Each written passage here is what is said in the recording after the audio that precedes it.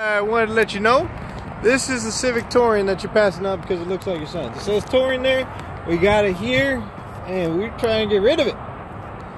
Reason why, it's been here a little while. And our get rid of it price is probably better than San Antonio has to offer.